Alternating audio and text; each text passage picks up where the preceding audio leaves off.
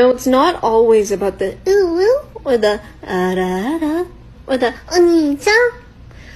Sometimes It's about drive, it's about power. We stay hungry, we devour. Put in the work, put in the hours, and take what